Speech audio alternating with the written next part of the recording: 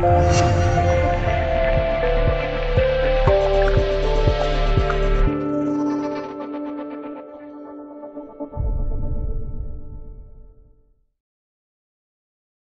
北京时间今天上午进行的女双四分之一决赛中，中国金花张帅和来自澳大利亚的斯托瑟携手轻松战胜对手，挺进半决赛。不过，在随后进行的混双半决赛中，张帅和搭档遗憾失利，无缘决赛。连续作战，征战两场双打比赛，一胜一负。中国金花张帅在本届美网双打赛场依然有着不俗实力。图说。张帅和斯托瑟携手轻松战胜对手，挺进半决赛。图 VCG 酷暑潮湿，这几天美网的天气给参赛者带来很大考验。在艰苦的比赛条件下，张帅和斯托瑟显得更为活跃。张帅在网前截击坚决果断，并且在底线也有不俗表现，最终仅用了一个多小时的时间就以六杠二、六杠三结束了战斗。或许是一日双赛对于体力考验太大。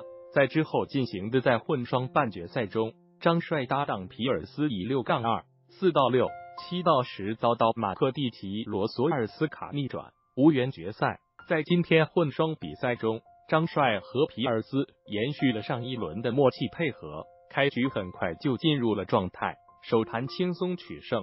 当大家都以为两人就此能高奏泰歌挺进决赛时，对手却展开反扑，失误过多。张帅组合四到六丢掉第二盘，而在决胜盘抢时，张帅皮尔斯前五个发球分都没能守住。尽管其在后半程奋起直追，但无奈差距过大，最终以七到十遗憾告负，无缘决赛。经历过亚运会决赛和美网女单支部首轮苦涩的失败，中国金花张帅在美网女双和混双赛场频传捷报，在双打赛场上一路高奏凯歌。这其实也给张帅的职业发展道路探索出了另一种可能。图说，张帅和混双搭档皮尔斯图 VCG，张帅如今世界排名已稳居 top 十，各项技术环节并不存在明显的短板，身体素质也是中国金花中的佼佼者。可惜一直没有取得更好的成绩，这其中易于被消极情绪影响，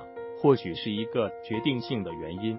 或许是在双打赛场上，张帅不必再一个人孤军奋战的缘故，来自搭档的支持和鼓励，让他能更好的发挥自己的长处。在本届美网比赛中，单打赛场和双打赛场截然不同的状态，足以说明这点。事实上，在国际网坛，从单打选手转型成为优秀双打选手的成功案例不在少数。远的如瑞士名将辛吉斯在单双打赛场上的斐然成就，近的有同为金花的彭帅曾捧起温网法网女双冠军奖杯，这些都是最好的事例。张帅有望在今年的美网实现双打事业上的重大突破，即便没能走到最后，这条路也是他可以大胆尝试转型的方向。新民晚报记者厉冉冉。